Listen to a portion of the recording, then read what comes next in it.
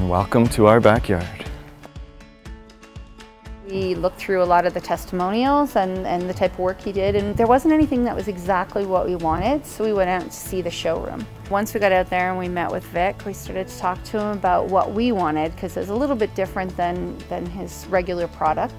Yeah, as much as they focus on providing um, out-of-the-box shed designs, we wanted something that was more custom.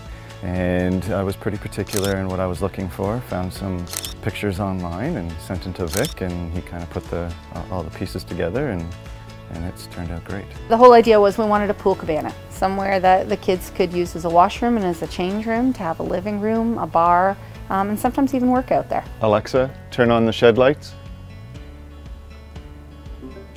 What I liked most about Shed Village was definitely the small touches, the, the communication back and forth with Vic and I and then with Dave and I.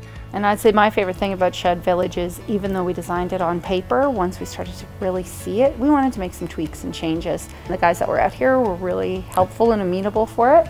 Um, so they'd, they'd make the little changes as we went along and, and you know, it turned out great. We would absolutely recommend Shed Village. Um, they were great value, they did great work uh, high quality, and all our neighbors have come over to compliment us on it. Thank you, Vic, for putting the final touches on our backyard oasis.